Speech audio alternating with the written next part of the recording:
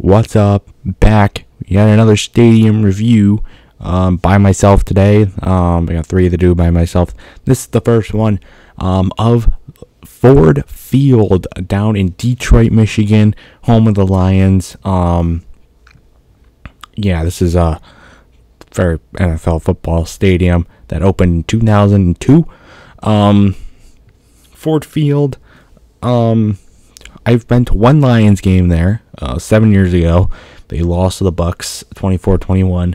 Um, I also went to many monster truck shows there um, and seen lots of those. So I'm going to talk about those as well. Kind of an experience being at the stadium for both football game and for that. Um, so here I go. So I remember not being that great of an experience, actually. I remember just being very crowded. It's very pricey because, you know, it's an NFL and stuff. I remember just being the beer and the food just very pricey, and we didn't really want to get any of that. Um, I do remember the gift shop being very abundant, having a lot of good stuff with it. Um, on field experience, like being watching the game, I would say, I would say it probably was average, I'd say. I, I remember not getting a lot of great views because there were a lot of people in front of us, but it wasn't like a necessarily horrible view, I would say.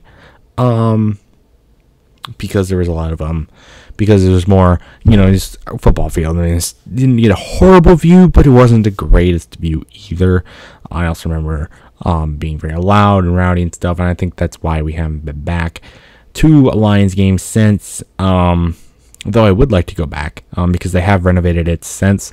And I think, you know, being the horn stuff and everything, that horn after you score a touchdown, that's pretty cool. And, um, you know, the PA announcer, he's pretty cool. I like him. I like some of the new amenities that they've done. It's pretty cool in there. So the blue and everything for the Lions and stuff is, is really cool, and I really like that. I've also been down there for lots of uh, monster truck shows, lots of monster truck experiences. Uh, been able to go down on the actual field, but it's turned into like a dirt action stuff. Be able to sit on the monster trucks and stuff, and that's and to get pictures. That's pretty cool. Um, and I remember that being a lot more fun, a lot more of a fun experience because the, um, it's more of a fan thing and stuff. But I don't, I don't know if they really do them at Ford Field anymore. Obviously, they're not doing monster truck right now, but I'm wondering if they still do. I don't know, but remember being a lot more of a fun fan experience because seven years ago I wasn't really that big into sports, but I did like watching the monster trucks and stuff. Uh, you can see my monster truck collection video. It's it's in the collection as part of my playlist and stuff. But um, so I remember that being a lot more fun experience and um stuff like that. And there's a lot of cool stuff. And the concourse, I don't remember really, really much of the concourse. I do remember it was pretty cool. Um not really that much to do compared to like Cooley Law School Stadium or even Comerica or stuff like that. So um, that's pretty much all I have to really say. But so it's a pretty quick review of um, what it's like to be there. It's not not the greatest experience, but not the worst experience, I'd say. Um, I bet there's worse NFL stadiums like FedEx Field, FedEx Field. um, so for my final score, actually a pretty quick one, actually.